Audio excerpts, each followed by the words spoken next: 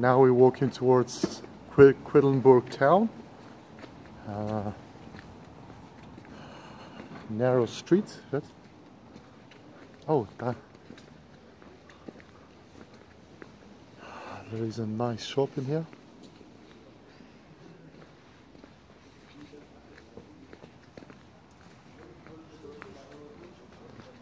It's a lot to see, obviously.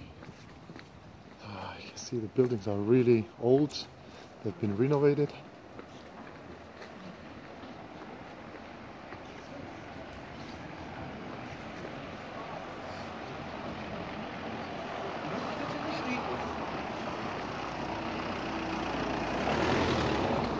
Oh, there is an alley.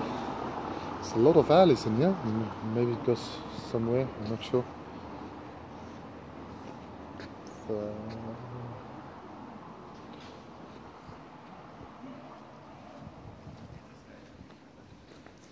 just gonna carry on a bit on the right.